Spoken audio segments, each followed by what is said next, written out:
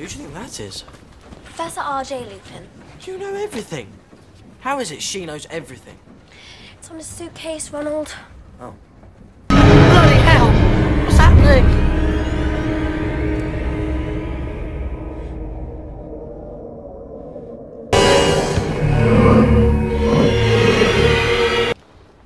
Here, eat this. It'll help.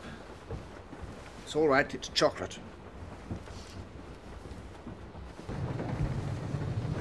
Eat. You'll feel better.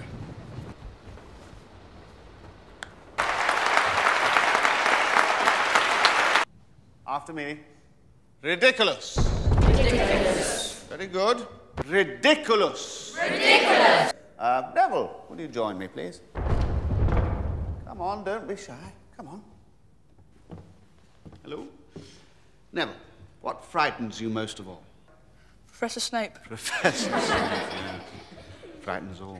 Marvellous! Absolutely very, very enjoyable. Well, I'm very impressed. That suggests that what you fear the most is fear itself.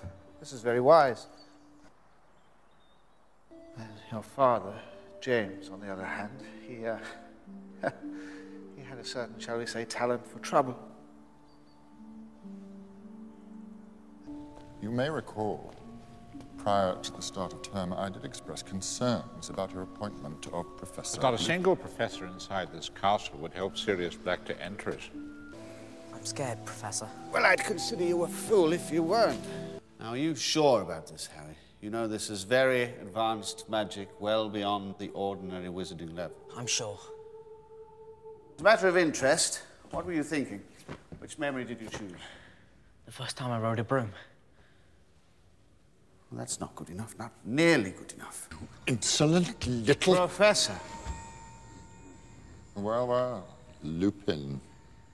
Out for a little walk in the moonlight, are we?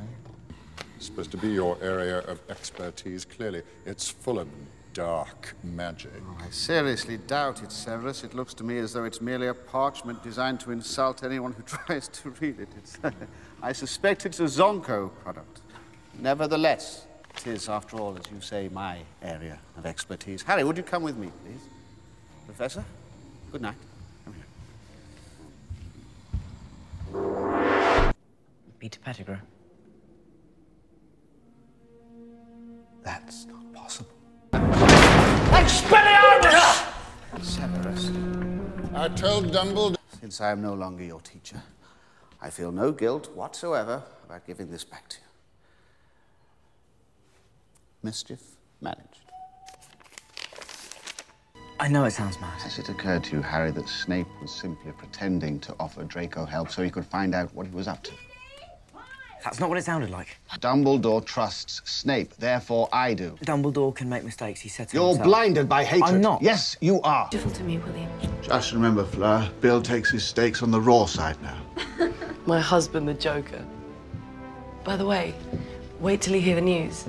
Remus and I. right. We have time for a cozy. It is the quality of one's convictions that determines success, not the number of followers. Who said that? Me. I don't even know if it's real. But it's the best I have.